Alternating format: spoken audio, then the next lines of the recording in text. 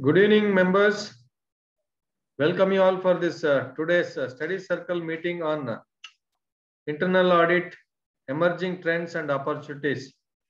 To handle this session, we have our own fraternity member and good friend, uh, none other than C. Anup Thomas. I welcome you all this for this program. Welcome you, uh, Mr. Anup also.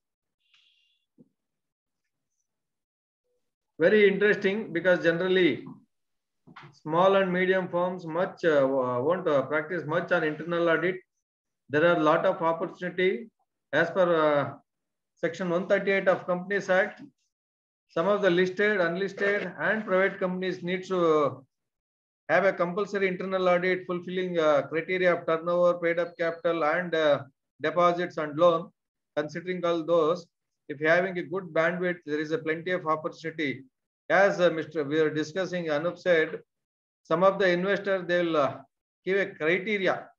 You should need to have a compulsory internal audit, then only we can have an investor interested to invest.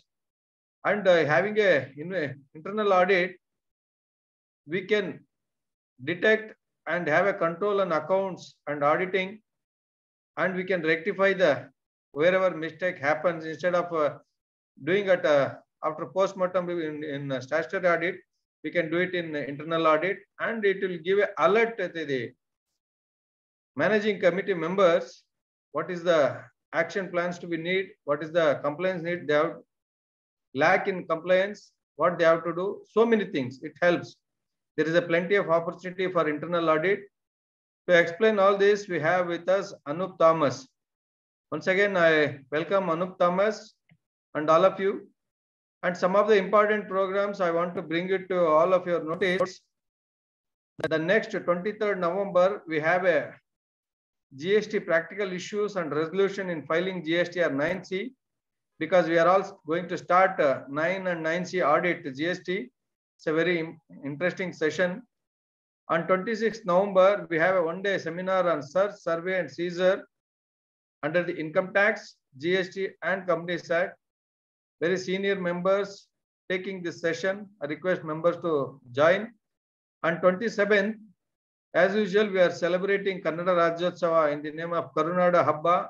It's on Sunday. Fun filled, very interesting session on 27th. I request all the members to please join. First, from 1st December, Bangalore branch, first of a kind, it's starting online yoga classes for members and students at very, very subsidized cost because generally members will be busy. Ours is table work. Generally, we will not able to go out and uh, do exercise or something. We can have a fit mentally and even for students also very good. We'll be maybe going for client place, out of station, wherever we can uh, do yoga by following online classes. I request members to join for yoga classes also.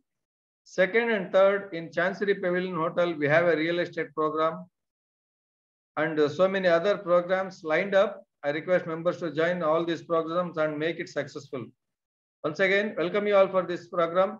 I request our secretary, Pramod, to give a introduction of our today's speaker, Mr. Anup Thomas.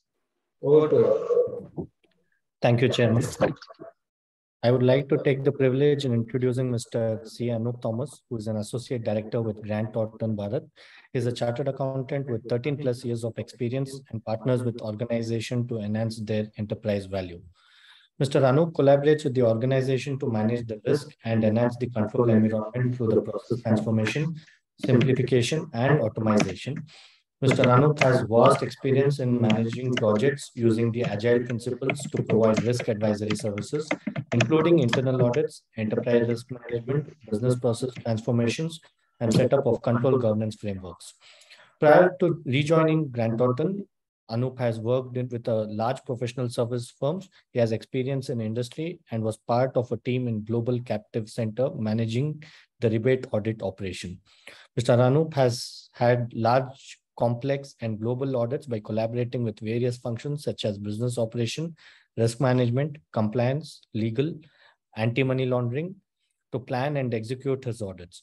His expertise of risk advisory services covers industries such as pharma, life sciences, staffing, education, real estate, IT, IES, manufacturing, and he collaborates with startup to set up their control governance framework. This brief introduction, I welcome you, Mr. Anu, once again. Yeah, thank you. Thank you so much, uh, Chairman and uh, Secretary, for the uh, context setting and uh, also sharing uh, your thoughts on internal audit uh, and also for the introduction.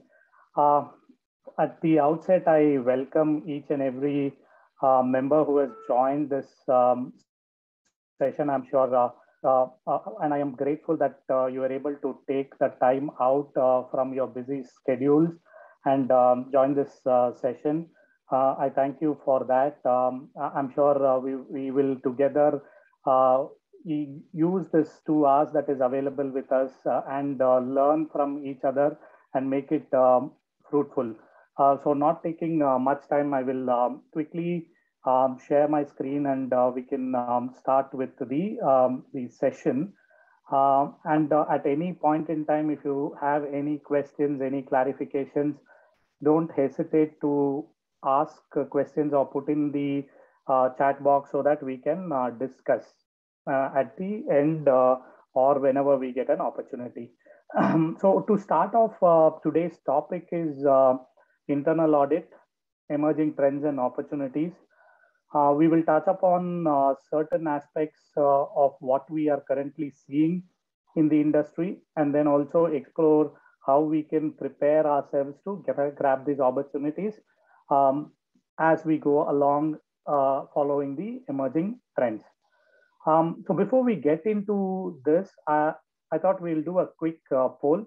Uh, for this, we need to use technology. Yeah, I hope everybody has their phones with you. If you have it, please grab those uh, phones quickly. Uh, I will display a QR code. You just need to scan that QR code, which will take you to a poll. And uh, if you do, if you're if you're not able to scan the QR code, just put in the address in your in the web browser, which is Slido, S-L-I-D-O dot com. Type in that and put this particular code. 1859772. And once you do this, it will take you to a quick poll, which will help us to get some sense of who is present in this particular study um, circle meet and also some context on what is your expectation, how we can meet those expectations, and what you think are some of the key takeaways that you may expect from this training. So I'll quickly go to the uh, go to the Slido. Uh, let me know if you can see my screen. Uh, maybe in the chat you can say yes. You can uh, see the Slido screen. Uh, if that is the case, just type in yes or a reaction, which will say a thumbs up. When you're ready, just let me know.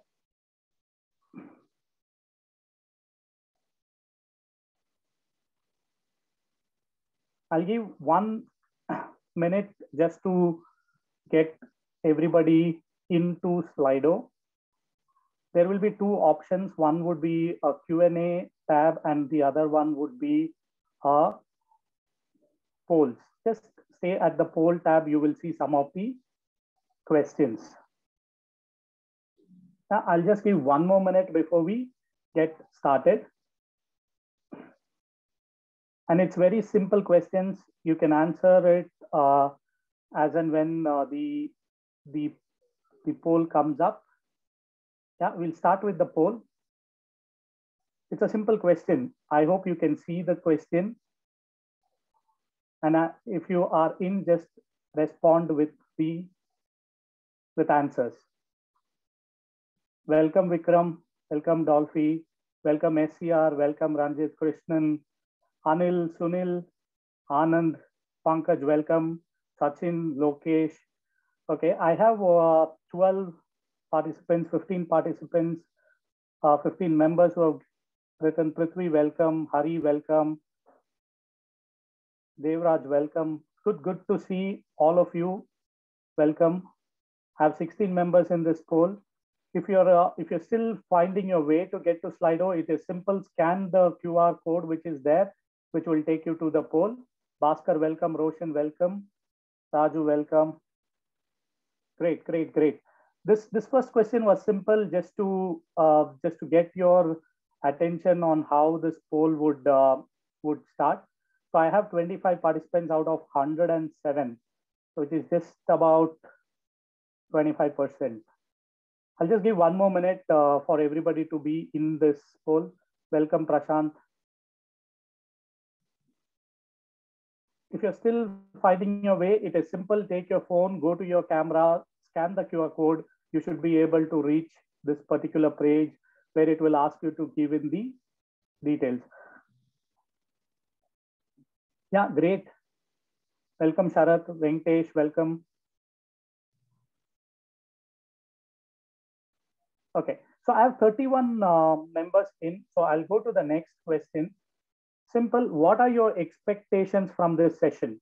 As soon as you got this particular uh, uh, flyer or a notification or uh, as soon as you heard that, okay, there is going to be an internal audit uh, emerging trends session, what were your expectations? I have one answer which says, okay, we you, you would like to know about emerging opportunities. Okay, we will discuss on what are the emerging opportunities. Okay, anybody else? That's one expectation. Good tax tech savvy techniques. Okay, we will discuss that. Understanding the recent trends. Yes, we will cover that. Uh, new technologies. Yes, we will touch upon that. Opportunities and approach. Sure, we will touch upon that for sure. Mm, knowledge.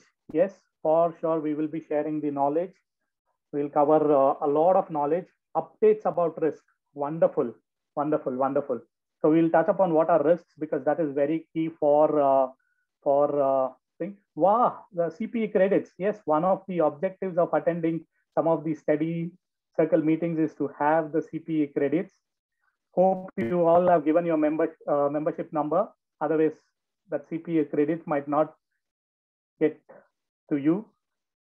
Um, risk involved. Uh, there is one answer. Srinivas. I don't think so. I'll be able to cover that as an expectation, but welcome, Srinivas. Audit tools. Yes, we will touch upon that. Good, good, good. So these are some of the expectations that uh, you have. We will cover a lot of this. Um, these uh, IFC with internal audit. Okay, efficiency of IA in small. Okay, small firm, small um, clients. Okay, we'll go through that. We'll go through that. Any any other expectations of management? Yeah, we will touch upon what are the expectations of management from internal audit. Yes, yes, we will we will cover that. Good, good. Latest methods. Okay, latest methods we will do. Audit trail. Okay, um, we'll see how we can cover that. I'll give another 30 seconds to see if there is anything new that comes up. Value additions through internal audit. Okay, that's a, that's a good perspective because uh, because uh, traditionally internal audits within uh, a company have, are considered as cost centers. Uh, let's see how uh, internal audit function can be transformed to add value. True, that we can touch upon. Anything new that has come? Scope for small firms. What is the scope for small firms? Good, good, good. We'll cover that. Okay, that's good. That's good. I think we have a fair sense of what is the expectations from the audit. Um, moving to the next one. What do you think? What do you think? Members, what do you think are some of the emerging trends in internal audit? What are some of the emerging trends that you see in internal audit?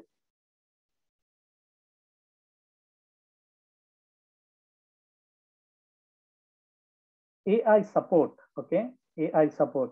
We'll touch upon what is a standard operating procedures, okay? Is that that is an emerging trend. Again, AI, use of technology, wonderful, wonderful. Use of softwares for better understanding, okay? Better understanding of the risk landscape, the control environment, continuous uh, auditing, yeah, use of softwares for those, yes. AI, AI, okay, we will talk about AI a little bit. What else? What else are the emerging trends that we see in internal audit?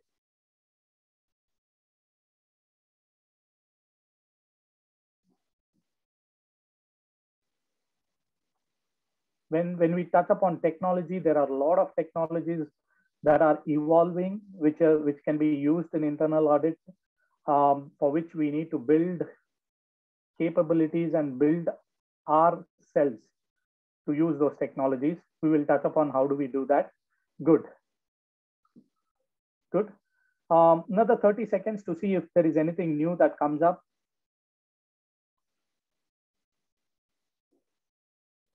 Okay, um, we'll move to the next one.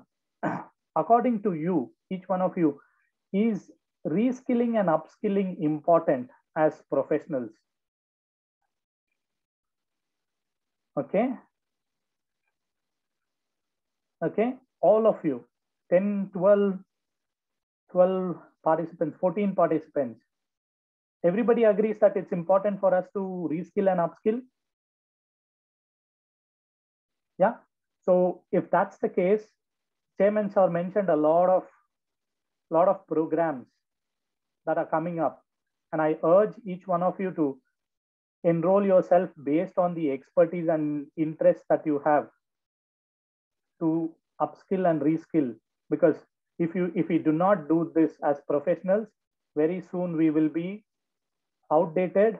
The, the younger generation, the next, gen next generation will take over a lot of opportunities that, that will be there for us. So it's, it's important for us to reskill, upskill. Wonderful, wonderful. So given this context that we need to upskill and reskill, let's get back to the presentation. We'll go through some of the points that we had uh, looked at as expectations. So today, today, what will we discuss? What will we discuss today? First is we will look at what is the global context, what is the risk and mitigation efforts that are there when it comes to internal audit, risk, and the overall global context. Second, we will see what are some of the global emerging trends. And we will also touch upon how internal audit is adopting to these emerging trends and what are the changes that we are seeing, what are the transformations that we are seeing in internal audit. Yeah. The first one, we will talk about the entire globe, entire world. What is the current mood, current risk perspective that exists? We'll touch upon that.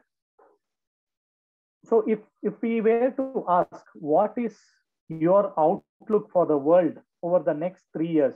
What would be some of, some of the responses? You can put your responses in the chat. If the question is, what is your outlook for the world over the next three years?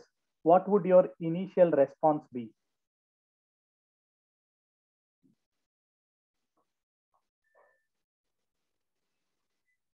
Any, any thoughts? You can put your responses in the chat. Recession, recession, yes, recession. Somebody has mentioned recession. Okay, what else? What else? What do you think would be the outlook for the world over the next three years? Opportunity for India to excel. Wonderful. Wonderful. New opportunities for India. Yes. World War. Okay. Good thought. World War. India's foreign policy always speaks about peace and all efforts to maintain and restore peace. So world war is something that that would be a difficult proposition in case we get into it. India as a pillar of global economic revival. Okay, great. So let's let's see what what the whole world and some of the risk professionals see. Okay, what do they see? So most of the risk professionals and some of the key professionals see that there will be volatility that will exist in this world. 41% say that there will be volatility with multiple surprises. We don't know what would that be. There will be relatively winners and losers. That is about 37%. Both of it put together, about 70% still feel that we are in a very negative situation with respect to the world. Only, only 10%, about 11% are feeling that, okay, we are, we are heading towards a global recovery and that is at a accelerated pace. So given that we are in a, in a, in a juncture in history where the outlook is volatile with multiple sur surprises, we as professionals need to prepare ourselves for volatility. We need to prepare ourselves to be surprised and also be prepared to respond to these surprises in a very, very professional and an efficient manner. The second is what is your perception of the world?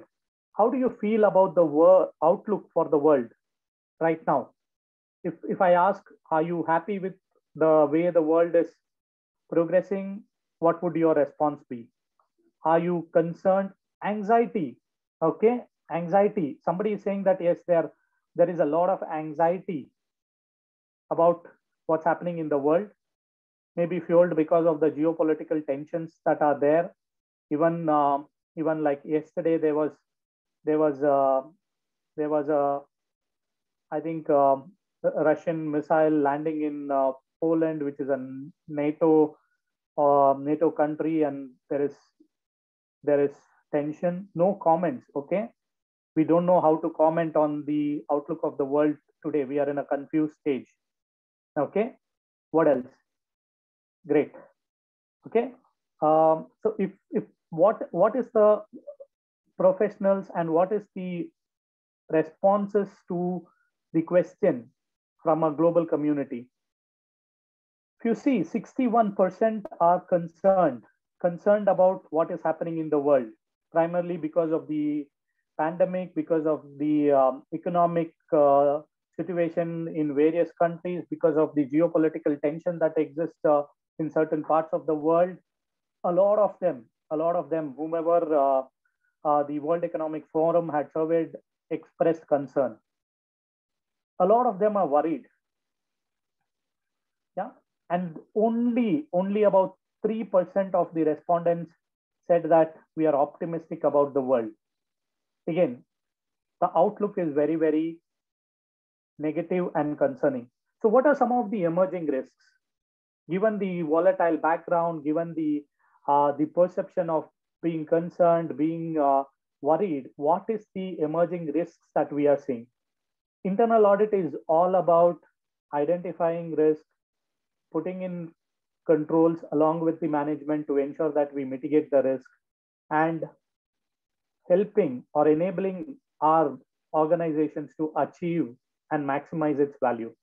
So given that as an objective of our profession, what are some of the emerging risks that we see? There was a question that was asked, identify the most severe risks on a global scale over the next 10 years. As professionals, what do we think are some of the emerging risks.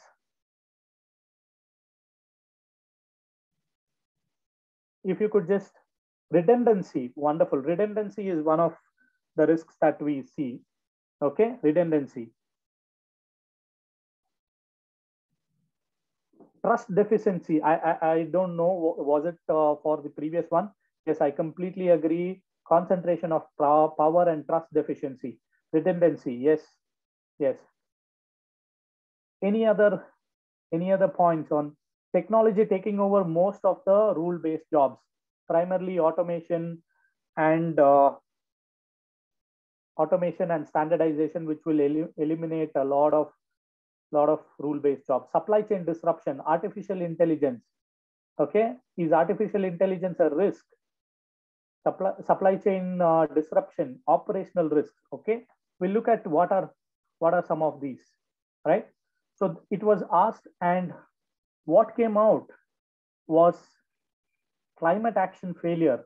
That means there were a lot of companies and uh, countries which committed to climate action, primarily committed to reduction of global emissions, global footprints, carbon footprints, that failure of that is rated as first. Extreme weather, biodiversity loss, social cohesion, livelihood crisis, infectious diseases, diseases, natural resource crisis, geo-economic confrontations. When we look at our own company, our own uh, um, firms, do we, do we even look at these risks when we do internal audit? Because for us, these risks does not matter. But at a global scale, yes, it does. And some more, some of the other ways, these risks have an impact on the company.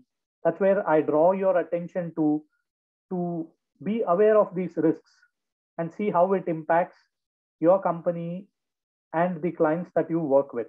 Yeah. So these are some of the emerging risks. Now, what is the um, current risk mitigation efforts? What do you think? Are we doing good when it comes to risk mitigation? Are we are we truly doing enough to mitigate the risks that we feel that exist in the world, that exist in our company? Are we doing enough? Simple yes or no answer. Do you think are we doing uh, enough? Yes. Ranjit says no, we are not doing enough. Venkatesh says no. Anand says no. No. Okay. That's about five no's, five, six no's. Pramod is saying no. Okay. So let's see what, what the world leaders think and what some of the risk professionals think. International risk mitigation effort. What is the current state of internal international risk mitigation? Climate change. Effective is only 2%. 2% of the people feel that the climate mitigation or the controls for mitigating climate risk failure is only 2% is effective.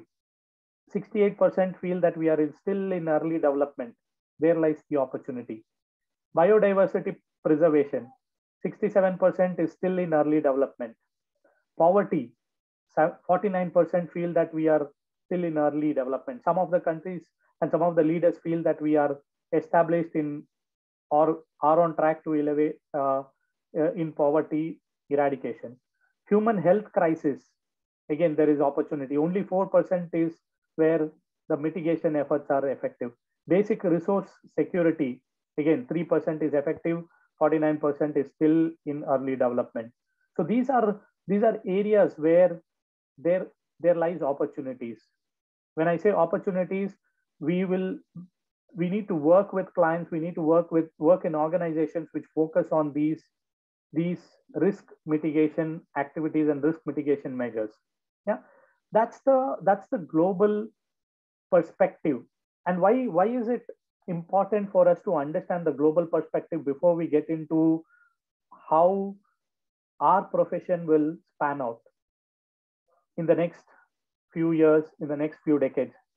Because we are very well integrated and interlinked to some of these events, some of these risks, some of these mitigation measures. Because if there is an impact on the economy through a recession, then there is a threat for our profession. There is a threat, threat for how companies will react to this re recession and how we will be able to capitalize on that risk, convert it into an opportunity and excel as professionals. That's the reason it's important that we have a global perspective of how the risk and the mitigation measures are spanning out at a global level. Now, moving on to some of the um, emerging trends within the internal audit. Before we get into internal audit, we look at what is the emerging trends that we see across, across companies, across countries, across the businesses. We will touch upon that. Before that, before I jump into it, any any thoughts on what are some of the emerging trends? What what are some of the global emerging trends?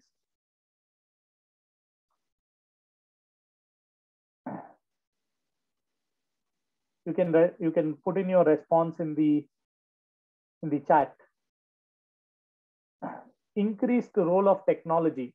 Yes, Yes, we will touch upon that. That is heavy automation, remote data processing. These are all emerging, emerging trends, global emerging trends. Yes, increased role of technology. I don't think so. I can uh, cover it in in two hours, but let's see. Cyber security risk. Somebody touched upon cyber security risk. Very, very key and very, very emerging. And and uh, somewhere I read that today war is not not fought in the battlefields, but in the cyberspace. Countries have specialists who who are engaged in taking control of security systems and apparatus of other countries. Use of cloud systems and risks involved with that. Good. So let's see what what what are some of the global emerging trends. First one, there is a lot of momentum in life sciences technology. After the onset of pandemic, the life sciences technology space has seen a multifold focus and increase primarily because of its impact on all the other sectors that operate in this in this world. If there is a impact on the health all the other sectors whether it is whether it is technology whether it is um, manufacturing supply chain logistics everything gets impacted. So we see a lot of momentum in life sciences technologies. Expansion in networking and interconnectivity. Today Um, I, I, don't think so. There would be any individual who is in a tier one, tier two, tier three, even up to tier four city who is not connected to either a digital device or to the larger world through a mode of network. We, we continue to see expansion in networking and interconnectivity. And high performance computing is becoming mainstream. Today, the expectation is that our systems, our, our, our uh, systems, our servers, our entire network and our uh, communication becomes high performing so that we can carry out the, the activities, carry out the transactions, carry out uh, the business in a very fast paced manner. Continued growth in artificial intelligence. A lot of people said AI. We'll touch upon what is artificial intelligence there we, we continue to see growth in artificial intelligence, big data analytics. There is a lot of focus on big data and cloud computing. We touched upon cloud computing. Dominance of internet security and privacy. Somebody had mentioned privacy by design. There is a trust defici deficiency. That's because there is a lot of compromise on privacy. And we see that there is significant important, significant investments that are happening in maintaining the privacy and the security of the data, the transactions, the company, and the overall information that is relatable to a individual or a person. We see a rise in metaverse, including augmented and virtual reality. We see we see a lot of applications, a lot of uh, adaptations that are happening with regards to metaverse today there are there are platforms there are communities there are companies which are working extensively on metaverse primarily to give an experience which is which is virtual which is also real. So we see this happening. And a lot of companies are using these technologies because of which there is a lot of inherent risk that comes with it. Increased urgency to move towards renewable energy. The the ukraine war the Russia-Ukraine war has pushed the need for moving towards re renewable energy. We have seen how the Russian economy is getting impacted just by the dependency they have on the Russian oil. And there is a lot of conversation happening on oil, the, uh, Europe's dependency on oil. And because of that, there is a push and there is an increased focus and the speed to move towards renewable energy is increased. Robotics, blockchain are becoming more prevalent. I'm sure a lot of us would have now become familiar with what is robotics, what is RPA, what is bots.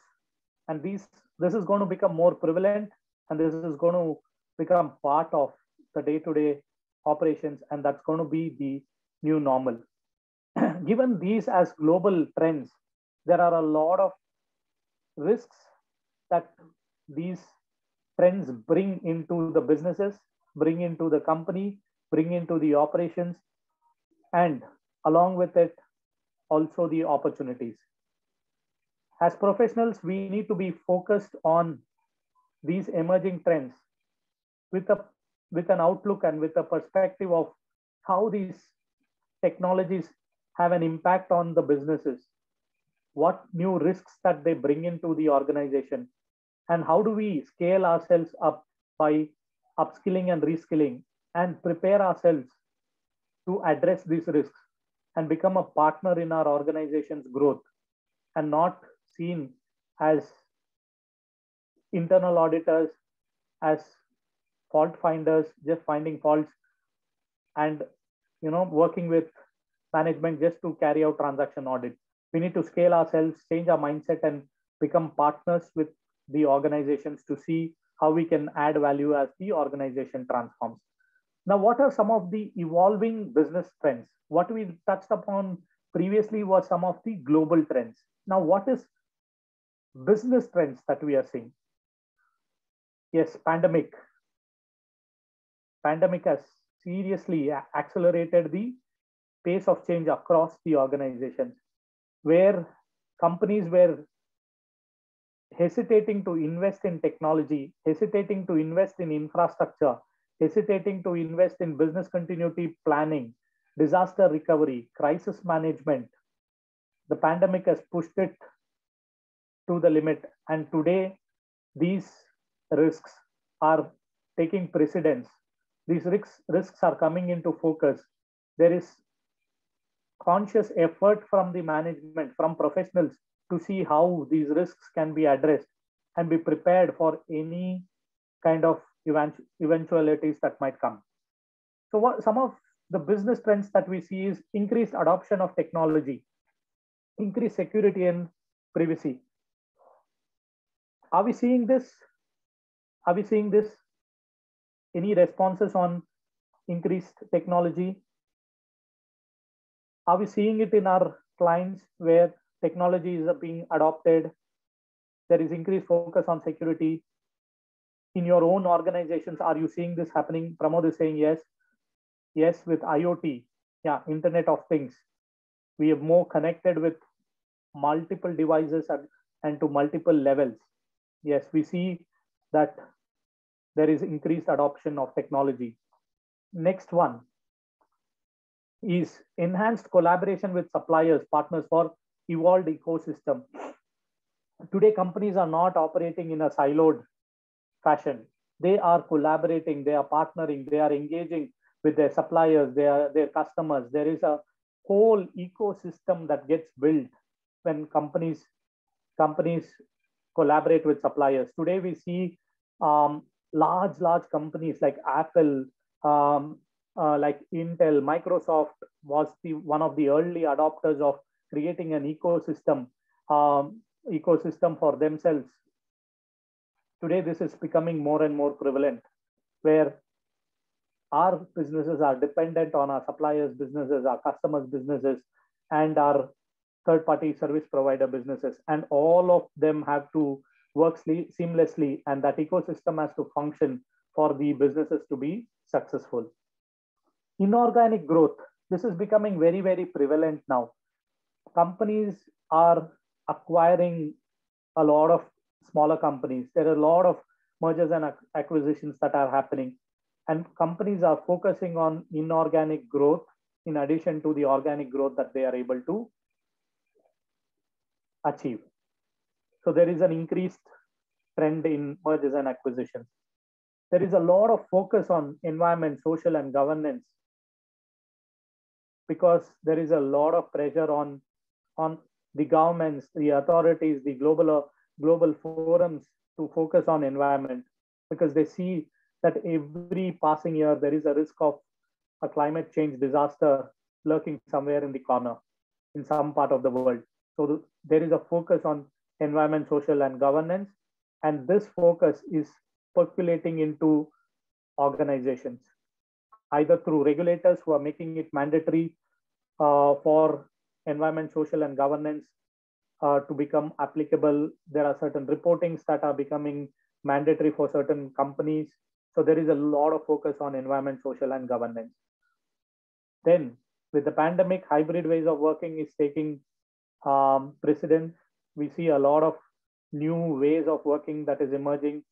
Gig workforce, people who do not want to become uh, permanent employees, they don't want to work with one fixed organization.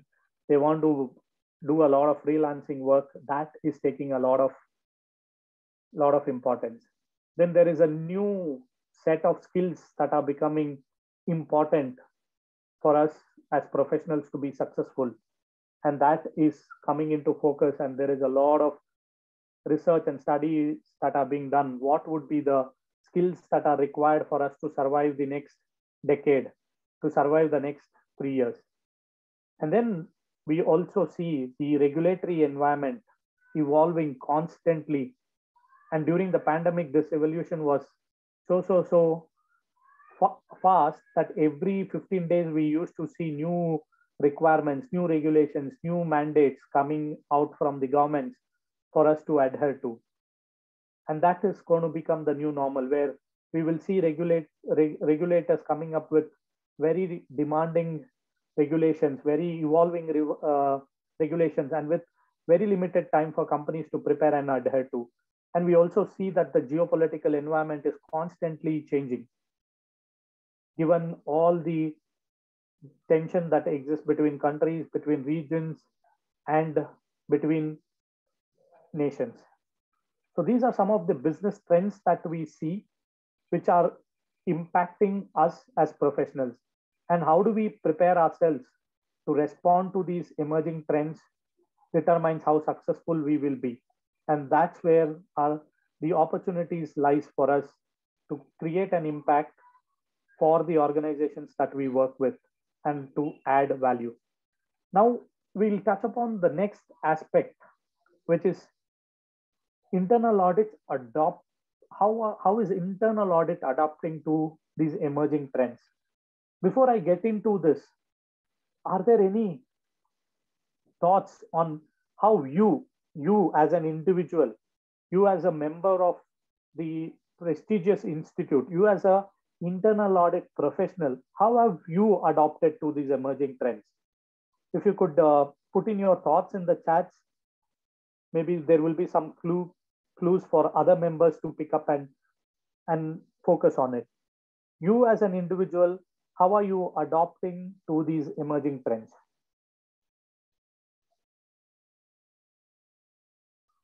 Anybody, you can you can just share what you what you're doing, what your what your organization is doing in the in the chat. I'll I'll read it out and then then we see we can discuss on those.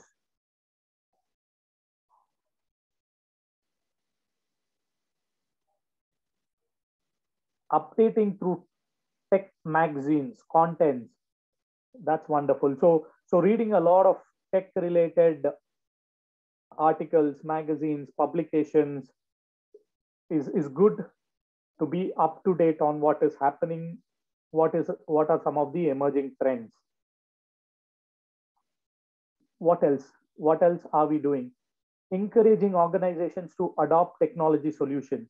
Yes, as professionals, we are we are recommending, we are partnering, we are suggesting uh, our clients, our organizations, internal, external, to adopt to technology solutions which are more efficient, which are more effective, uh, some of the examples given is using a software to do payroll processing, looking at cloud computing to increase the operational efficiency of, of the entire business. That's, that's wonderful.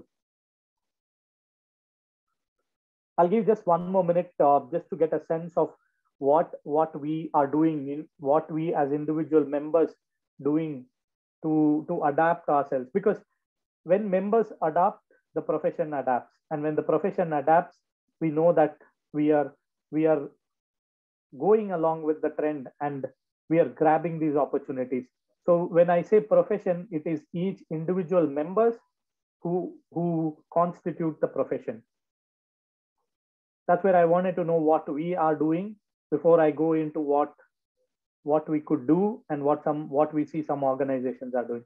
Okay? That's that's wonderful. Let's see what what is what is this? Now what what are what is the expectation of internal audit? The simple question. What is a uh, we are all internal audit professionals. We do um, internal auditing for our clients and our companies what is what is the expectation from internal audit? Any thoughts?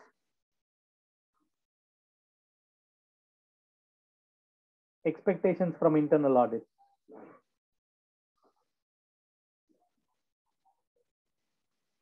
Process compliance and assurance. Wonderful. That means i need to give assurance to the management that the processes and the controls that are that have been put in by the management are operating effectively and also is designed uh, adequately. That's one of the expectations of internal audit. Thank you venkatesh for that response. Anybody else? Risk identification mitigation value addition. Wonderful. Value addition continuous value addition. Okay? So in three responses i see value addition coming twice value addition coming twice is that becoming a new expectation from the internal auditors that you have done audit you have spent 4 weeks with my team you have spent four weeks auditing this particular function. What is the value addition that you are bringing after spending so much of time? Is that a question that we are hearing from our clients from, from within the organization when we do internal audits? Anand has mentioned financial risk control. That is an expectation from internal audit. Okay, let's see what, what is the expectations, right? Traditionally, control assurance was one of the expectations. That means I need to provide an assurance to the management that the, the processes have been designed adequately, they are operating effectively so that the business objectives of that particular process may be achieved. That was the simple objective of internal audit. And how do we used to do it? We used to review the design of systems, manual controls. We used to do, we used to carry out um, test of operating effectiveness and we used to have continuous follow-up and engagement with process owners. Have we stopped doing this? No. This continues to be the bread and butter of internal audit. But what is happening is this. Today, the expectation is changed.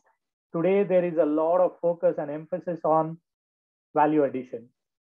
Today, management is expecting us to give them recommendations, give them suggestions, give them best practices, give them industry knowledge that will add value.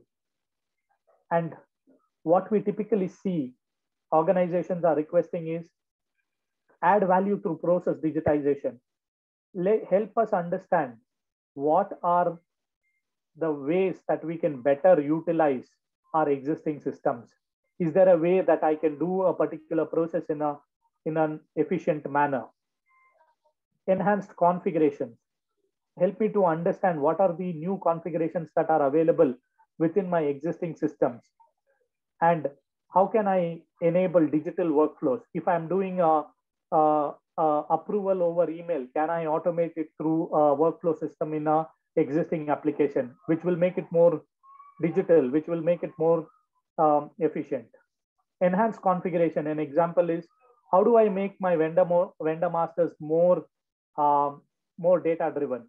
How do I ensure that all my information related to a vendor is available with me to ensure that I'm compliant with various regulatory requirements? Simple configurations like making some of the vendor master fields mandatory, like PAN, GST number, making it mandatory will help companies to ensure that they do not run around for these documents at the time of processing a payment. So those, those kind of recommendations are being sought after by the management. Automating. How can I automate manual and repetitive activities? Integrate certain systems to ensure that there is seamless processing of transactions. Today, there is a need or there is an expectation from internal auditors that we suggest these because we are in a very vantage position by carrying out internal audits across functions, we are aware of how systems can be integrated, how processes can be standardized, how um, how some of these activities which are manual can be automated. All this can be recommended by us because we work with multiple functions when we carry out the internal audit. Similarly, process standardization. What are the emerging good practices that we are seeing in the industry? Those are being expected as recommendations by the management. And one of the key things is how do we eliminate non-value added activities? Primarily, if there are certain activities which was put in place a couple of years back, now it does not add value, but the team or the function continues to do that particular activity. I remember one instance where there was one activity that was being performed by the accounts payable team. And this, this activity was just generate a report, GRIR report from, um, from a system, put it in a shared folder. This was the activity. And, and the activity continued to be performed. And when we asked, why are we doing this activity? The team which was performing this activity had no clue why they are doing it. And every Friday, they used to generate the GRIR report. They used to create a folder in one of the shared drives and uh, put in the um, date on which that particular report was created. And then they just used to save this report. And what happens to this report, nobody knew. And the genesis of this was there was age the GRIR which was there a uh, couple of years back when the audit was carried out. And it was recommended that a weekly GRIR review may be carried out. And the person who was doing this GRIR review had left the organization about a year back.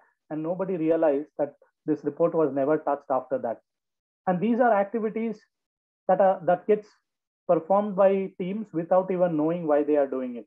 And we as internal audits, auditors, when we when we do a process walkthrough, when we spend time with the teams, we need to question some of these activities that are being performed.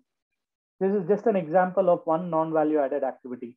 There might be several within a process. And how, how do we eliminate this and release the, release the system bandwidth, release the um, personal bandwidth, and also the storage bandwidth that these activities carry out. There might not be a big value that that comes out but if we can quantify that that will that will demonstrate to the management that yes there is a focus on focus beyond fault finding and internal auditors are becoming partners with the organization to help them achieve their objectives cost optimization always in the radar of the management and how can we as internal auditors support this is always question and here it is not cost saving, right? It is cost optimizing. When I say cost, cost optimization, are we getting the right value for the investments that, that the company is making is what needs to be looked at.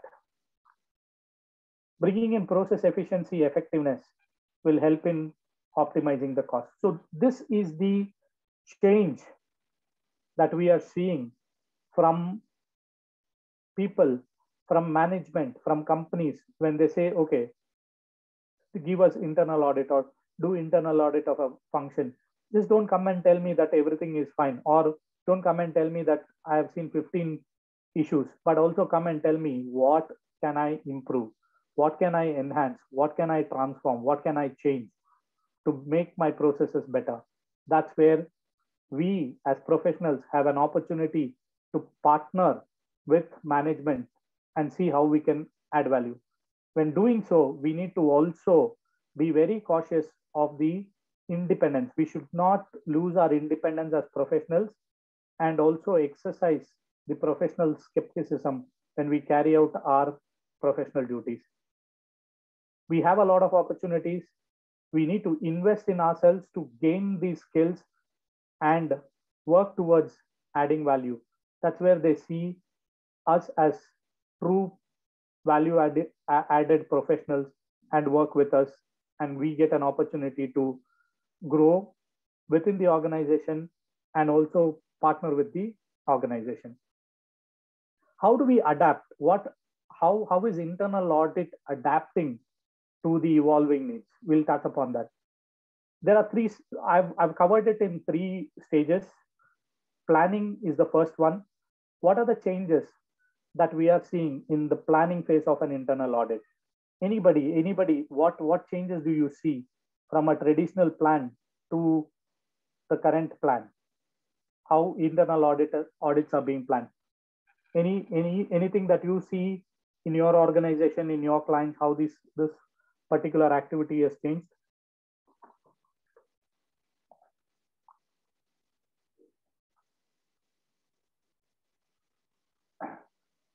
Has, has there been any change in the planning, the way internal audits are getting planned? Yes or no? Yes or no? Simple. Emphasis in assessment of technology landscape. Wonderful. Yes, we see a change. We see a change in the way the internal audits are being planned. And let me let me just take you through some of the points what we see in planning. Agile and flexible audit universe. What is an audit universe? Primarily, all the auditable areas within an organization is put together, and that forms the audit universe. And today, this is becoming very agile. When I say agile, the entire audit universe can change within a matter of few months because of the evolving risk landscape in which the companies are operating. Today we see extended scope. It's not restricted only to financials. Internal audit is not just a financial audit now. It, it spans across operations, it spans across treasury, it spans across various other activities that are being carried out by the organization. I touched upon environment. We there is a lot of need for internal audits to care internal auditors to carry out environmental audits. There is an expectation on how are we performing on our corporate social responsibility. There is a expectation on internal auditors to also look at very technical aspects of a company's operations. Example is if there is a manufacturing company into manufacturing of um, solar panels, how are their production activities being performed so that is very technical but the expectation is that we as auditors we as internal auditors perform, carry out some kind of an audit bring a subject matter expert review these processes and recommend to management so the the scope is getting extended beyond finance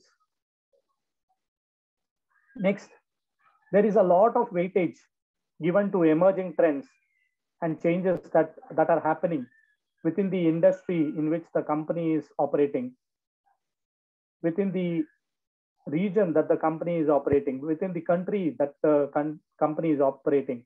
And today, most of the companies are multinational. They work across geographies. So there is a weightage given to emerging trends covering all of these there is a lot of emphasis on management audits.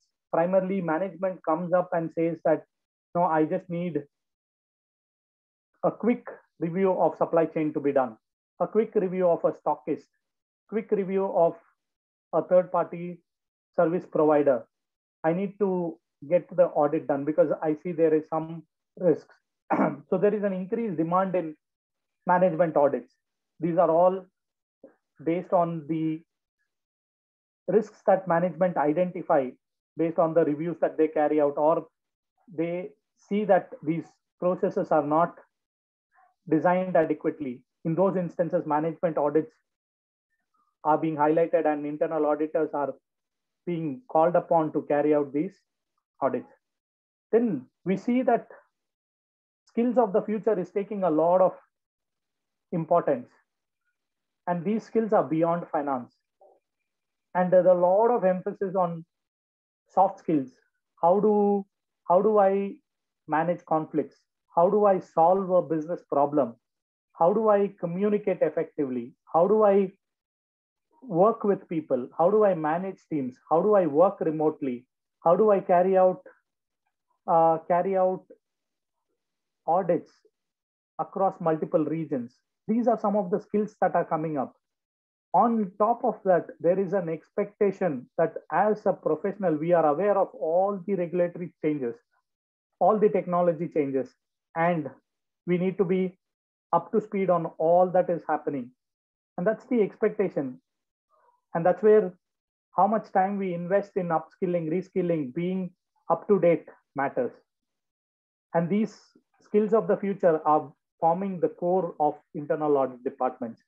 And today, if you see internal audit departments, it is not just a CA or a CWA who, who is there in the department. You will see engineers, you will see lawyers, we will see um, uh, see IT professionals becoming part of the internal audit departments and internal audit um, service deliveries, primarily because today audits have moved on from being finance driven and becoming more operations, more um, tech driven. Now, moving on to the next phase, which is execution. Today, execution is becoming more agile. A couple of years back, I remember that if you are assigned to a particular audit, you, you would remain on that audit from the beginning to the end. Today, it is changed. Today, the teams have become agile. The execution has become agile. There are organizations where team members work on two, three, four different audits simultaneously. And there are different functions that gets audited simultaneously. One team member might be working on different processes at the same time.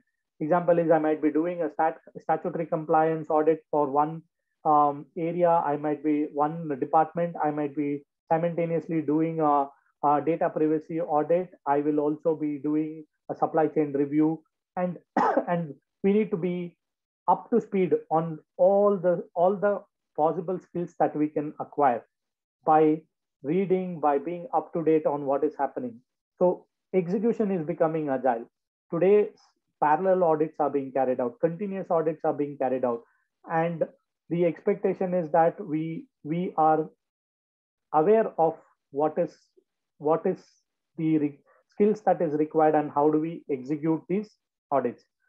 Infusion of technology, robotics, blockchain, Internet of Things is coming into internal audit departments. We are using these technologies. There are use cases that is available where internal audits are performed or carried out using RPA technology, using blockchain technology, using Internet of Things. Today, there is a lot of emphasis on use of technology in internal audit. And the first or the initial initial use is to is use of data analytics, visualization, data visualization to make audits more effective. In some of the advanced um, advanced countries or in, in advanced uh, or internal or where internal audits is are matured, we also see use of these technologies to perform continuous auditing to, to carry out analysis of data or to col collate data from various systems for carrying out the, uh, carrying out audit. We see blockchain being used uh, extensively to carry out um, audits where uh, authenticity of a particular transaction needs to be evaluated. Internet of Things is becoming um, mainstream primarily to collect data, to gather data from multiple devices when, when we are doing an audit real-time and continuous monitoring auditing is, is ga gaining prominence. Today, companies want to get real-time insights, real-time uh, data, real-time information, and monitoring of the uh, transactions on a real-time basis. They don't want to wait for a audit to be carried out. They want certain rules to be set into the system, into the application, into the ERP, so that if there is a transaction which is not supposed to be um, uh, supposed to be carried out gets identified and reviewed real-time basis rather than waiting for uh, for the transaction to be completed and we doing a postmortem as part of internal audit or stat audit. One of the examples is say example, um, uh, there are certain uh, transactions which, which needs to be posted by a certain individual to a certain account. and the, the ERP is configured in such a way that if any other individual uh, or a combination of uh, uh, transaction codes get executed by that particular individual, there is a trigger email that gets uh, generated highlighting that to certain uh, team members within the internal audit team who would go ahead and review this particular transaction. Another example is in case there are any potential uh, duplicate invoices that gets uh, identified by the system, those gets flagged for the internal audit department to review before the uh, invoice is further processed. So these are some of the real-time continuous monitoring or auditing techniques that, that are getting implemented or uh, is, is becoming more mainstream in a lot of organizations.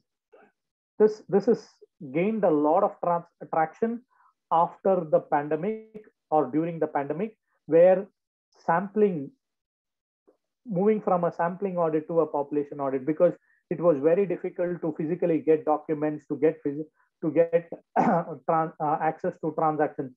So the companies teams have moved on to doing a lot of population driven audit where data is analyzed, where trends are identified, where insights are drawn from the, the uh, analysis of the entire population.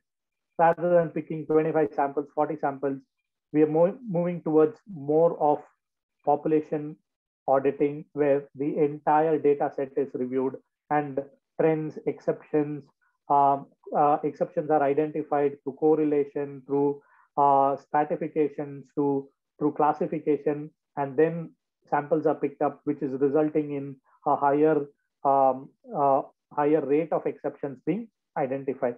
That is on the execution part. On the closure part, what are we seeing on the closure part? When, I, when I'm closing an audit, what, what are the changes that we are seeing?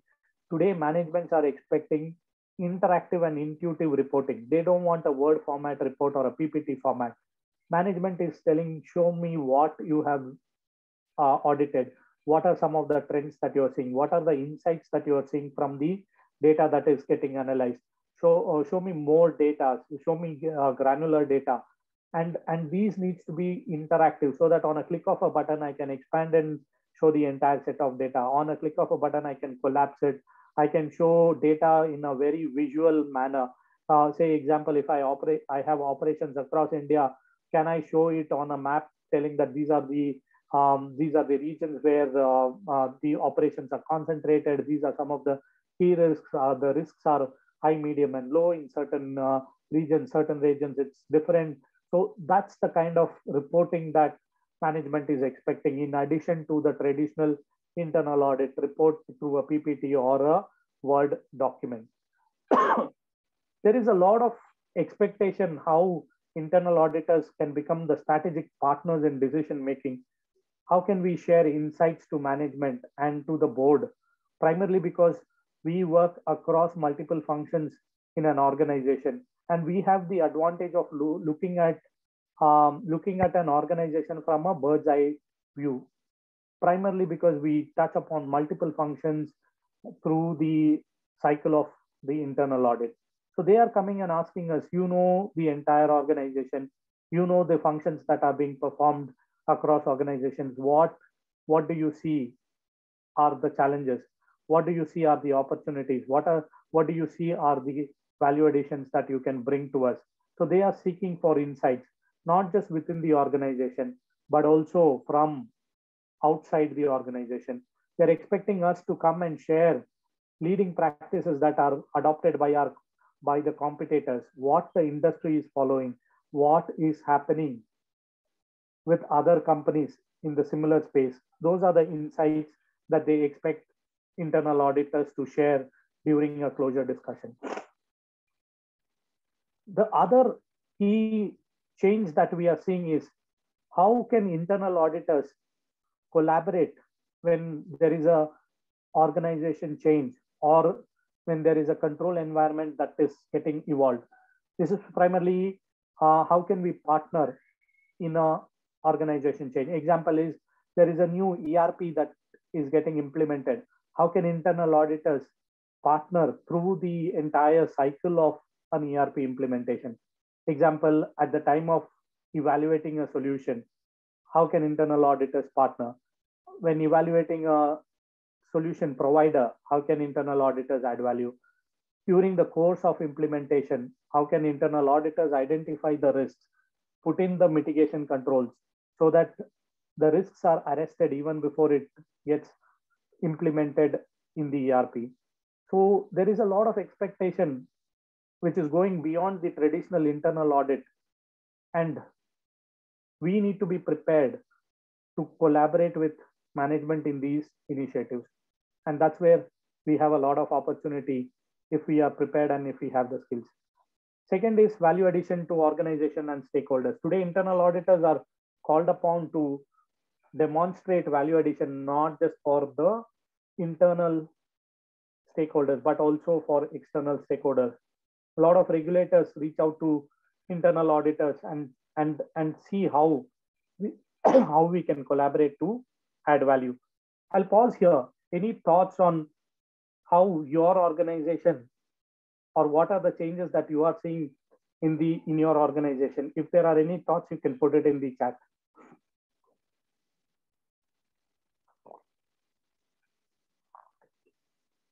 And are we seeing these happening in, in the organization, in your organization, at your client locations? Are we seeing this happening?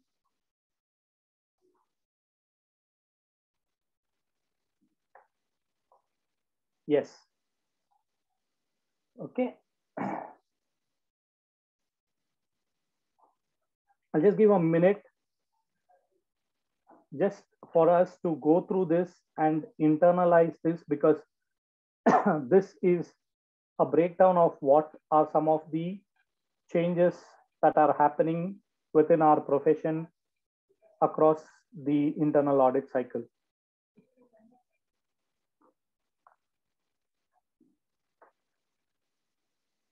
Okay, we'll move to the next one. What are some of the emerging audit areas that we are seeing? Control by design. Control by design. This is primarily how do I ensure that the process is designed in such a way that the controls are embedded within the within the design of the process itself. I touched upon collaboration during organization, technology, changes, transformation. Internal auditors are called upon to work with teams while implementation of organizational change, while implementation of a new technology, while carrying out large transformation exercise. We are, we are asked to work with these teams which are leading the change so that adequate controls are put in at, a, at the time of design itself. Ecosystem audits, we, we discussed that how ecosystems are evolved. Today, the expectation or the uh, the request for audit is beyond the organization. Today, we internal auditors are called upon to audit third-party risks, and it's not just first level. Sometimes we are also requested to audit second level, third level of the ecosystem. When I say, say I give a contract to a contractor, he subcontracts that work, and he further procure certain materials from another vendor. So the expectation is that we go beyond the initial vendor to whom we have subcontracted the work, but also to the subsequent layers. So the expectation is increasing when it comes to the ecosystem audit. Environment, social, and governance. We discussed this emphasis on carrying out audits which touch upon the environmental aspects, the social responsibility aspects, and also the governance aspects.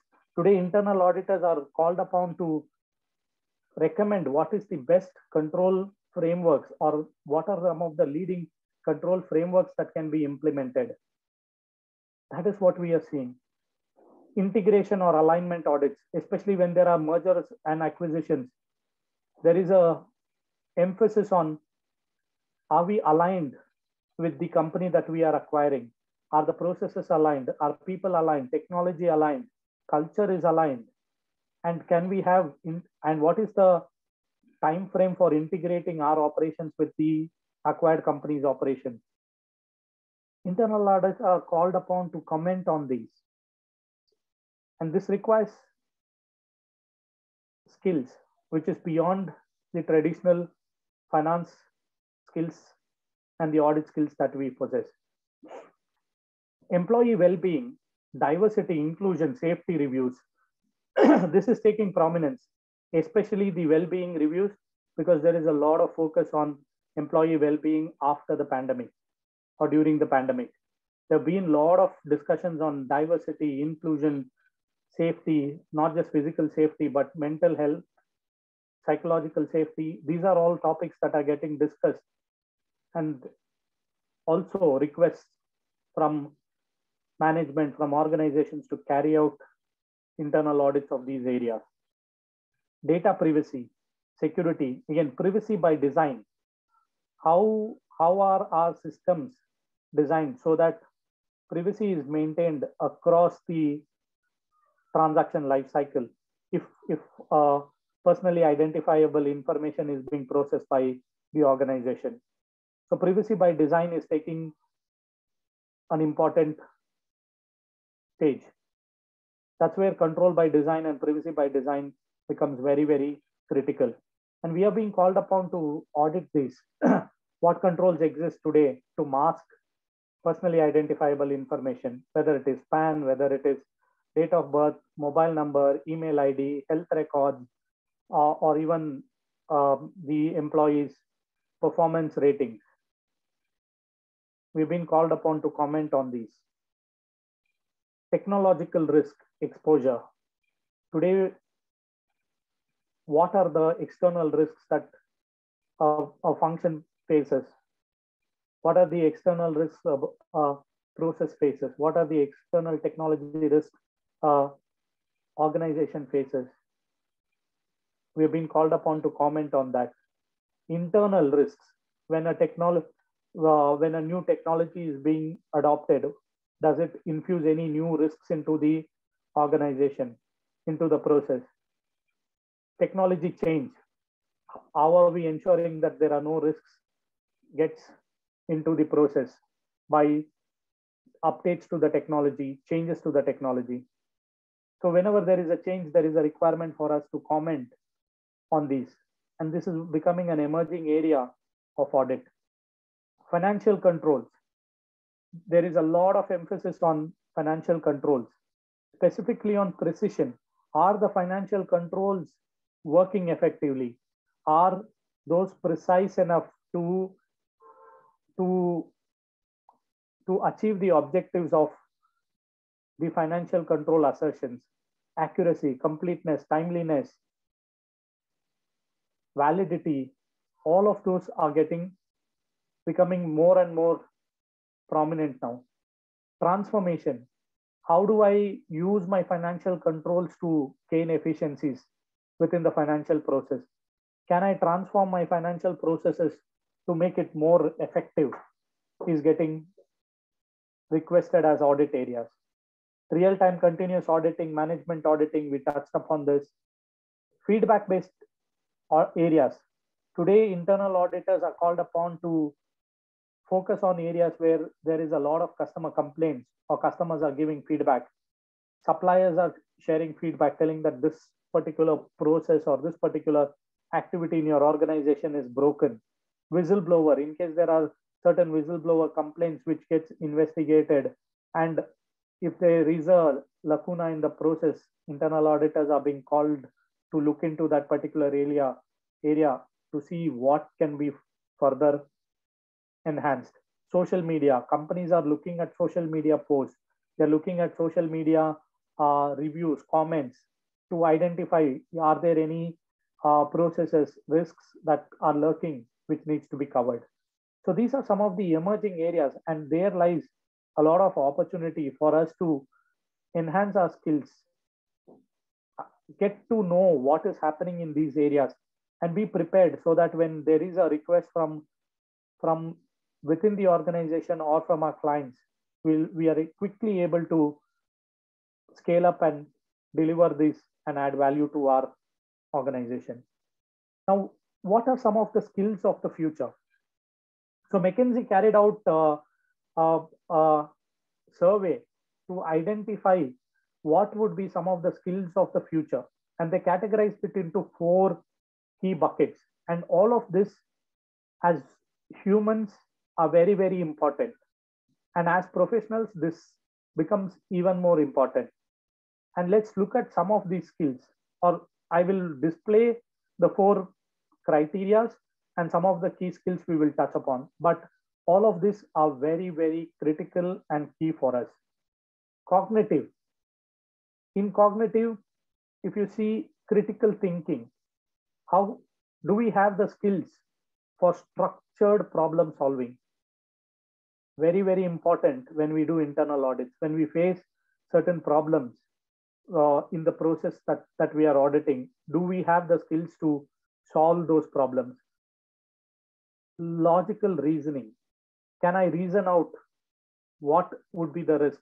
What would be the control? How do I mitigate that particular control? How do I add value? Seeking relevant information. That's a skill. As a professional, we should have that skill. And do we have that? And how do we sharpen that skill? And how do we how do we be prepared for that? Planning and ways of working, work plan development, audit plan development. How do how do we become more agile when, when we develop a plan? How, time management and prioritization. Skill, basic skill, but that is becoming that is becoming a priority now because everybody is stretched for time. There are multiple priorities that are that are there, and we are we are always in a conflict to prioritize one over the other in the limited time that we have. Agile thinking, how do I quickly think? How do I stand on my feet and think and respond to management requests? That's a skill becoming important. Similarly, communication, storytelling. Today, how do I communicate my work, communicate the results of my work very effectively to management? storytelling is becoming important. Asking the right question, a basic skill for our profession, and that's gaining prominence. Active listening, simply listening to the process owner, to the management, there would be so many issues, so many observations, but the, the, the sense is that we are not doing that. And that's, that's a skill of the future. Ability to learn, adaptability, adapting a different perspective, bringing in the new perspective, mental flexibility, creativity and imagination. How can I become more creative, creative when I'm carrying out an audit? Can I come up with creative recommendations? Can I come up with creative solutions? Can I come up with um, creative uh, ways of presenting my report, presenting my findings, presenting my results? Skill, a key skill. Interpersonal, we all work with each other, other team members. How do I have a win win negotiation? How am I organizationally aware? How am I industrially aware? How am I sectorially aware? How am I aware about the region in which the company operates? How am I aware about the global trends, global position of that particular company becomes very important skill. Developing relationships, having empathy, building trust, becoming very social, having the humility, skills of the future. But these are all basic human skills. It's just reappearing as skills of the future. Fostering inclusiveness, resolving conflicts, collaboration, teamwork effectiveness, important skills. So the first one is cognitive, second one is interpersonal. Two more are there, which was identified. Self-leadership. This is where our focus needs to be as individuals, as individual members, am I aware of my own self? How do I manage myself? How do I prepare myself? How do I reskill myself? How do I upskill myself? How do I plan to become a better professional? That's where these skills come up. Understanding own emotions, integrity, motivation, self confidence, important skills for internal audit, auditor, professional, and just to be a human. These skills are very important. The last one is where focus needs to be goal achievement, ownership and ownership of the goal. how do I have my, how do I be consistent in working towards my goal? Self-development becomes very, very critical. First one was cognitive, interpersonal. Third one is self-leadership. Fourth one is digital. Technology is taking a lot of importance in internal audit. And we, as a profession, are late adopters of technology. Generally, we see businesses adopting, then we see, okay, businesses are adopted, there is an opportunity for internal audit also to adapt, and we go ahead and adopt those technologies. Digital literacy, learning becomes critical, key skill. If you see smart systems, having the knowledge of smart systems, knowing data analytics, statistics, key for development. Now we know that these are the skills that are required. How do we how do we acquire these skills? And how do we bridge the skill gap? Today there is a big gap that exists be between what is the skill that is required to carry out internal audit and what is the skills that the professionals possess. And how do we bridge this gap? A quick summary. What we focus on expands. Primarily if we focus on a skill that we need to acquire and if we put in the effort we will surely acquire that skill. So it's a, just remember this what we focus on expands so if you feel that you lack in one of these skills any one of these skills put yourself a timeline telling that i'll acquire this skill or i will enhance the skill and and start working towards maybe in the in next 30 days 60 days and start working towards it. That's very important. So a quick roadmap i'm sure all of you as professionals will be aware but i'm just touching upon this becoming aware of the skill gap. What are the skills of the future and what is the gap? Once you are aware of that prioritize the skill that you want to work on. Primarily your upskilling reskilling roadmap. Have a develop a quick skill development plan so that you are aware that you would acquire these skills which will help you to grab the opportunities that will come your way enroll for courses and programs where you can acquire the skills once you do that participate in projects, audits, where you test the skills that you have acquired, utilize these skills, and then see how you can further enhance. And once you do that, once you have acquired, go back and reassess. Do I know what is the skill gap that I have? And how do I further focus on new skills and upskill myself and be ready for the opportunities that are presented? Now, what, are some of the emerging opportunities? Anybody, what are some of the emerging opportunities that you see in internal audit?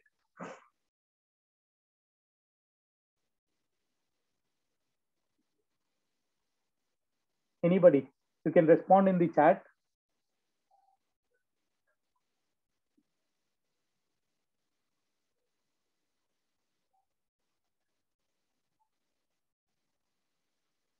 We have discussed some.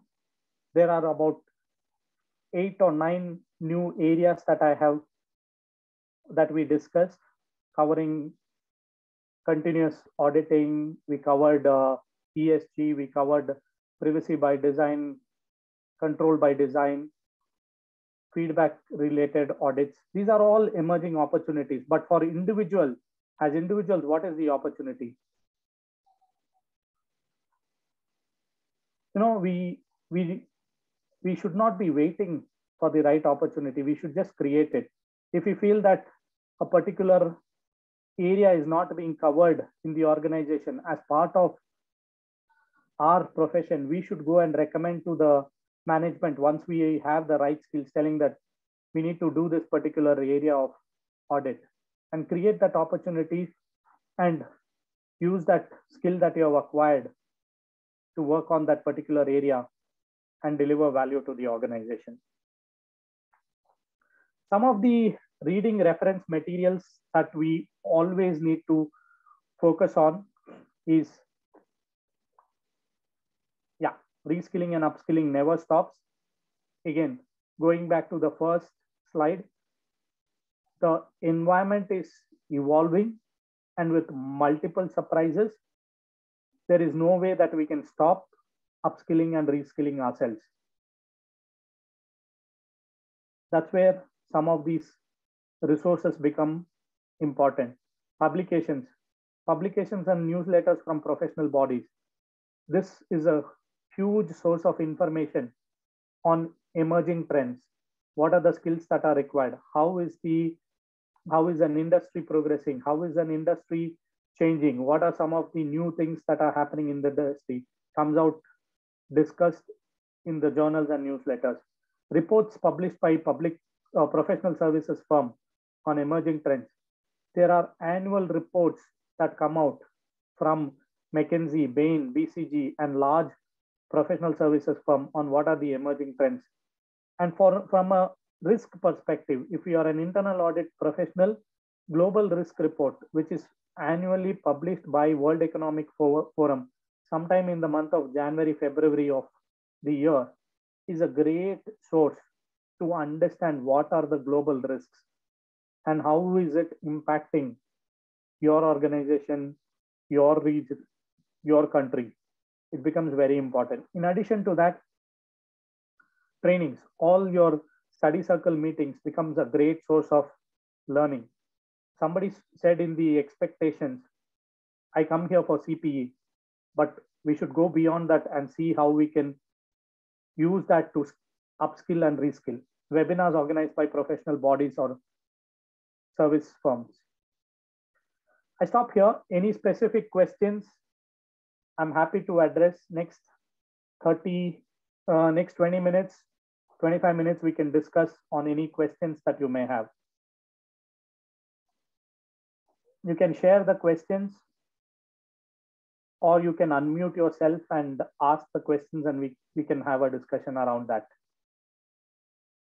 Or you can share your own experience on how an internal audit or what are the emerging technologies in the internal audit space.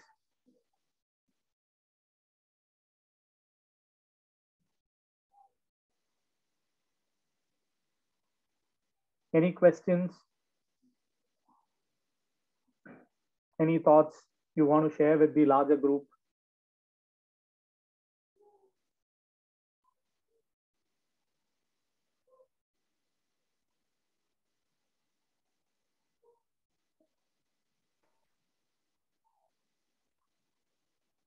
ಇಲ್ಲ fifty to question hi Anu Hi. there are 52 questions there can i ask one by one Yes, yes, please.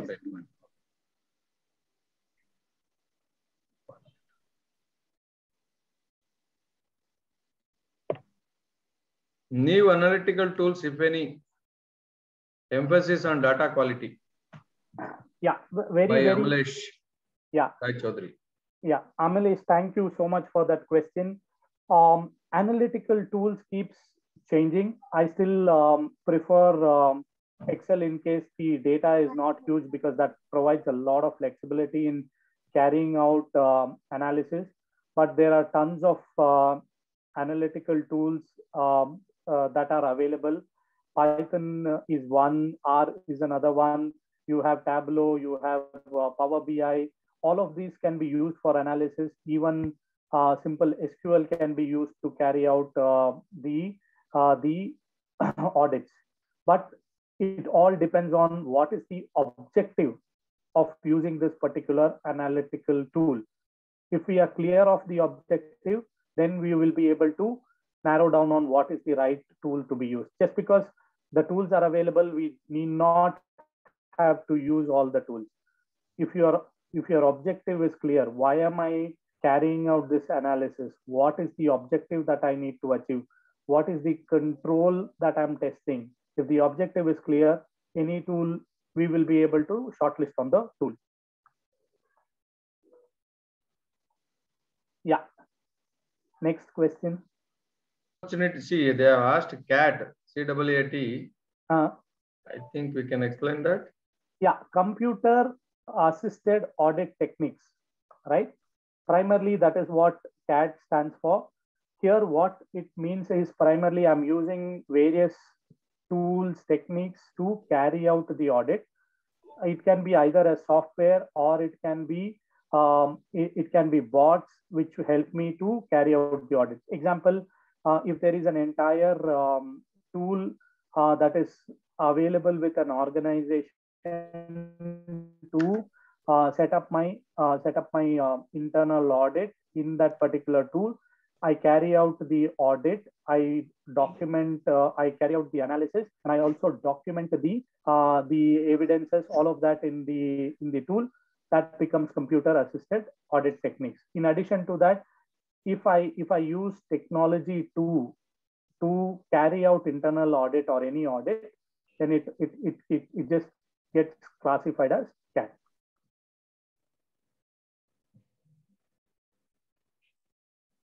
General question. That's okay. We can still New, opp new opportunities for recession in advanced economies. Any opportunities for India? Again, opportunities. Any uh, there are there are plethora of opportunities that are available in internal audit. Uh, again, depends on um, the the space that uh, that you are interested in. What is your passion? Example, uh, today there is uh, opportunities for specialization in uh, uh cyber related in audits, specialization in environment, social and governance related audit. And there is a lot of emphasis on um, use technology audits. So if you have certifications on any of the technologies, there is a lot of focus in that cybersecurity is gaining a lot of prominence. So if you have a cybersecurity certification, again, reskilling, upskilling, you, you, you will be able to explore this. We discussed about nine or 10 uh, emerging areas. You can focus on one based on the interest that you may have. Technology is taking over the most of the rule-based jobs. Is it any hindrance for opportunities for internal audit or still? If, if, the, the the good part is we don't want to be doing mundane tasks right? We don't want to be doing routine tasks. We need to put our brains to use. So any rule based repetitive uh, repetitive tasks i would say should be automated should be uh, taken over by technology and we should be using our minds to uh, minds for creative thinking for coming out with better solutions which a technology cannot do. So our focus should be on what are the areas that we can work on creatively rather than focusing on what gets automated. Automation is good, standardization is good, and that gives us an opportunity to go beyond the regular audit and see what are the new areas that we can do, what how can we be more creative, and what are the new um, opportunities or focus areas that we can work on. So technology, especially automating the mundane, routine, rule-based job is a good thing for internal audit. I think uh, most of the questions are routine. I think uh, what is the most ideal way of uh, earning our skills as we mature through experience okay. Yeah. So so this this is this is one uh, good question. As we experience what um, what comes in as a mindset is i know i know i know. And we we we become more like a i know person. I know this i know this i know this. And we somehow become uh, we somehow start living in the previous generation that's where it becomes important, as I mentioned in the last slide, being aware of what is the emerging trends, emerging technologies is critical. So as you experience, you need to spend the time in reading, in attending programs, and and skilling and reskilling. That's that's important as we experience, we feel very difficult to take out time to attend seminars, to go for workshops, and to uh, and to even attend a training session. And as, as soon as I uh, as soon as I receive a training invite, I will I'll be like, okay, I know this. What is the new thing that will be taught? but that's where we lose out. And it's important that we upskill and reskill to ensure that we keep our skills up to the mark. Today, I don't know, uh, when I was a kid, up to the degree, up to I completed degree, I didn't know what was a mobile phone, what was a smartphone, what is a touch phone. Today, a one year old knows how to swipe. One year old knows how to go to YouTube. And tomorrow, when they come into the workforce, I don't think so. They will be happy with the kind of internal audits that we do. They will be like, why am I even doing this work? The next generation will not be patient. They will not have the attention span. So it becomes important that we are in track, are in, in pace with the generation. So it's important that as we experience, we spend time in reading and attending uh, seminars to keep our skills up to date. One more interesting question from uh, Venkatesh. Whether uh, doing a internal audit certification from the Committee of Auditing Assurance Board will uh, added a certification will be helpful in internal audit? Yes, any any will be recognized in uh, market uh, if you are a specially certified internal auditor or something? Yes.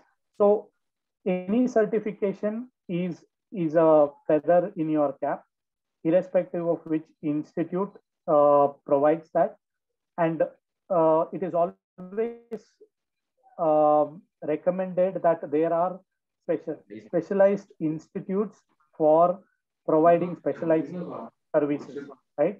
Um, example, for internal audit, it's the Institute of Internal Auditors. That is the premium certificate that um, that organizations look for. So if I if you are a certified internal auditor, that's like a premium uh, course or a certification that you can take. But if you go only based on the certification, that it would only be a paper. But if your mindset is that I want to learn internal audit, I want to become a professional who is sought after in the market, then you can learn it with any institute. Even self-learning also is, is good. You can just learn internal audit by doing internal audit or by partnering with internal audit departments in organization in case you are not a internal auditor or you are you're very young, young in your profession. so mindset is important. Learn objective. Yeah.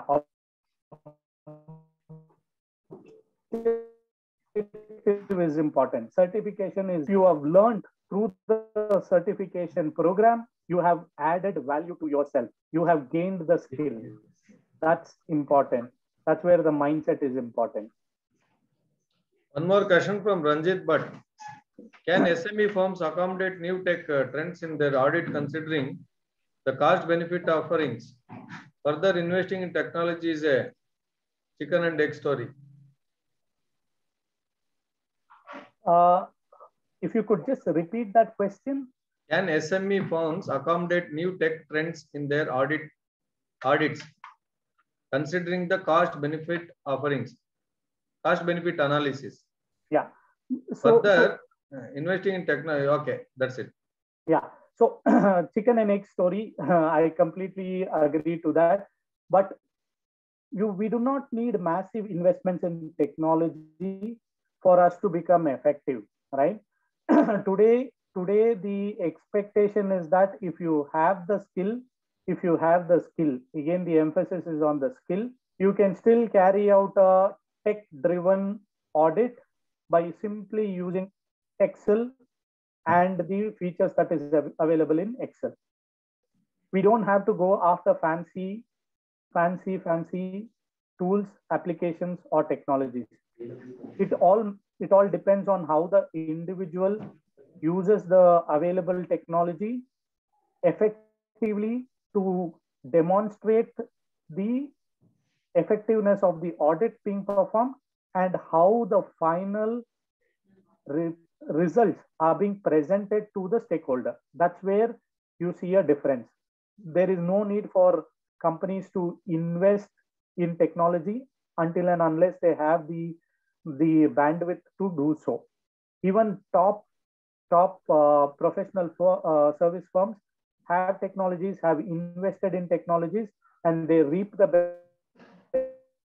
benefit only if their staff, who is an individual member, uses that technology. Otherwise, the platform is available and it is just available in the organization. Until and unless the individual spends time to learn that particular technology, adapt that particular technology, use that technology, and deliver value to the organization by using the technology. So it again comes down to the individual team member or individual professional on how he utilizes the technology. We're done with the questions, uh, Mr. Anup. Yeah. uh, any any other specific points that you want to discuss? I'm happy to discuss. Otherwise, uh, over to you, uh, sir, for your concluding remarks. Thank you, Anup. Uh, It's an excellent session. Really, it was an eye opener for a small practitioners. What are the openings, new technology, tools available for internal audit? Really, it's eye opener session. Thank you for our time and effort sharing your valuable knowledge in internal audit. I thank on behalf of Bangalore branch of ICAI to you. I request our uh, secretary Pramod to give a formal vote of thanks. Thank you.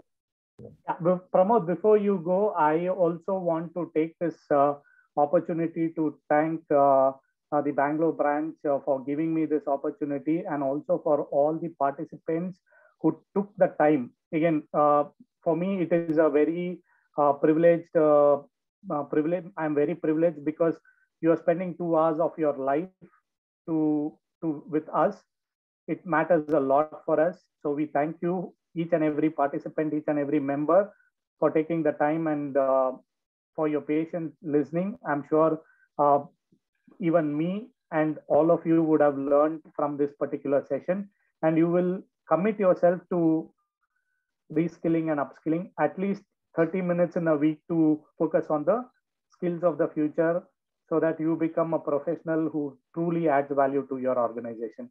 And I wish each and every participant all the very best and a wonderful career ahead in internal audit. Thank you. I also thank all the members. I can see 100% attendance till the last minute. I thank all the members for actively participating in this program. Thank you. Over to Shrima, Pramod. Thank you. We have come to an end of uh, excellent technical session and of course definitely with the participation of the members as our chairman did mention about the various initiatives which we have been taking and which we will be taking going forward please ensure that we have an adequate participation hope to see you in the upcoming cp study circle meeting and of course thank you anup for making it uh, convenient and a lively session with using technology at the start of the session itself and especially members uh, definitely a thank you to you for participating in today's event I request everyone to give you a continuous participation. Good night. Once again, I want to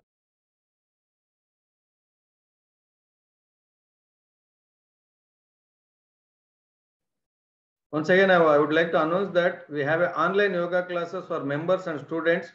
I request all the members, you can uh, register and make a use, uh, benefit of this. Wherever you are, even you are uh, out of station or you are at home, you can practice online. It's a very good uh, session for members and students, first of a kind in India. I request all the members to join for this program. Thank you. Thank you one and all. Good night. Thank you. Have a nice evening. Thank you. Thank you.